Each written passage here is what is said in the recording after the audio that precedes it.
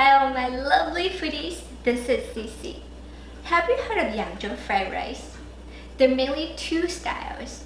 One is from Yangzhou of course, which is very fancy with lots of yummy ingredients and expensive ones like sea cucumber, dried scallops, and much more. And there's the one from Hong Kong, which is what we commonly see here in the US. It is with char siu, with shrimp. So I couldn't choose which one to make for everyone, and I asked you on Facebook and YouTube, and most of you chose the one from Hong Kong. So today, let's make Hong Kong style Yangzhou Chao Fan. In a wok over high heat, add 1 tablespoon of extra light olive oil and the shrimp.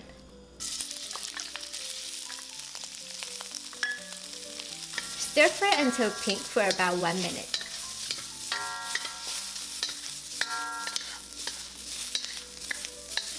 Remove and set it aside. In the same wok over high heat, add 1 tablespoon of extra light olive oil. Add the onion, peas, carrots, and char siu. Stir fry for about 30 seconds. For my char siu recipe, click on the link right here. Remove and put them aside. In the same wok over high heat, add 1 tablespoon of extra light olive oil.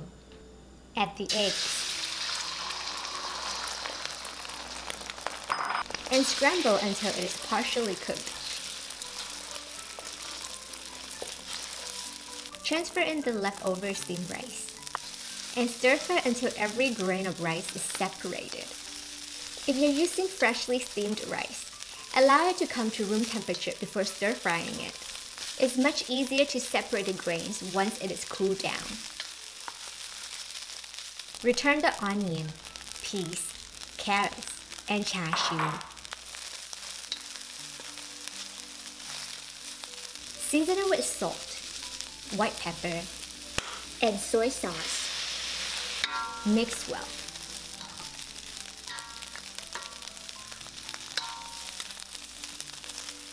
Return the shrimp.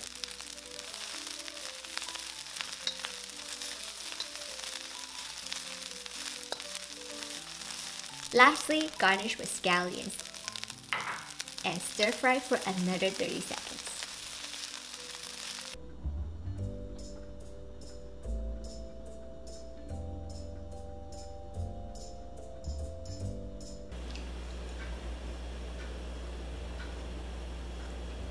嗯，我们今天的炒米饭做的呢，嗯，真的是十分的好吃美味。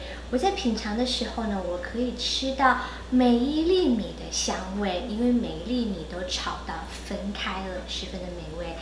那我觉得在做炒米饭的时候呢，最容易、最好的就是使用隔夜饭，因为隔夜饭里面的水分程度不高，一部分已经蒸发掉了，所以它变得比较硬。你一炒的时候呢，全部都会分开掉。那我希望大家喜欢今天的影片，如果你喜欢的话呢，也请你在网络上帮我们订阅、按赞、分享。